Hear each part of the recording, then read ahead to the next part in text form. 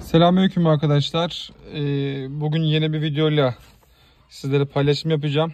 Ben bu sorunu yaşıyordum. Ee, bu sorunu sizinle paylaşmak istedim. İnşallah çözebiliriz. Kaloriferimde şöyle söyleyeyim. Birinci kademe. Bazen oluyor bazen almıyordu bu. 2, 3 yok. Bazen bak çalışmıyor. Gidiyor geliyor. Üflüyor ya da üflemiyor. Bak şu an üflüyor.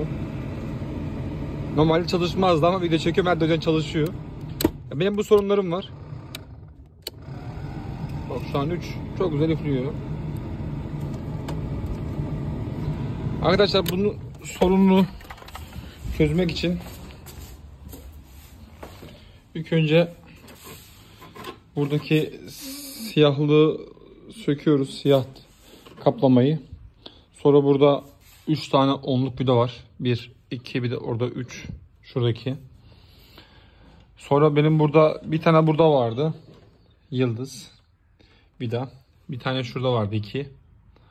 Başka nerede vardı? Bir de şurada vardı. 3 tane vida vardı. Yıldız. Onun dışında başka bir şey yok zaten açılıyor.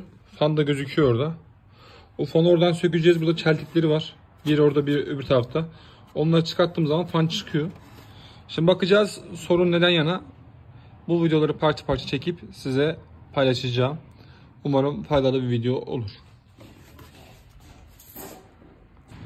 Arkadaşlar bunu da sökmemiz gerekiyor yoksa çıkmıyor. Dediğim gibi bunda 3 tane vidası var. 1, 2, 3. Onu söktüğün zaman sen direkt çıkıyor. Fan da zaten burada.